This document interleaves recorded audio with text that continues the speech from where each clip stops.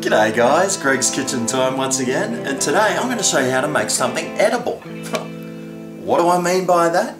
Well, I recently bought this salsa dip from the local supermarket.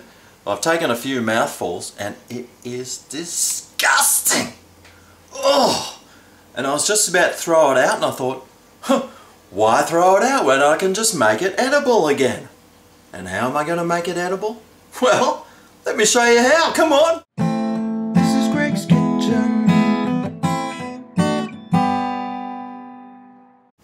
Okay, so to make this salsa dip edible, what I'm going to need is some sour cream and some cheese.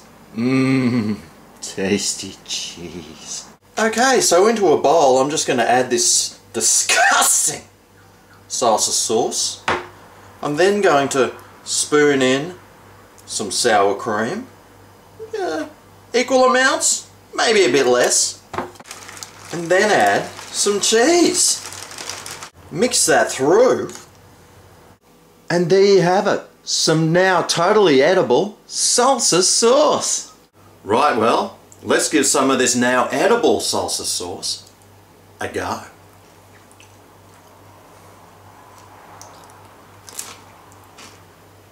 Mmm. Oh man. Mm. I'm going to put on five kilos now. I can actually eat this. well guys, I hope that little tip comes in handy and it improves some of that disgusting salsa sauce you might have bought and was going to throw away, but now you don't have to, so I just saved you money even though you had to spend it on sour cream and cheese. But hey, it was well worth the extra kilos. Oh yeah! Anyway guys, thanks for watching. Remember to thumb this video up or down if you want to, I really don't care. Thanks for watching and I'll see you next time right here on Greg's Kitchen.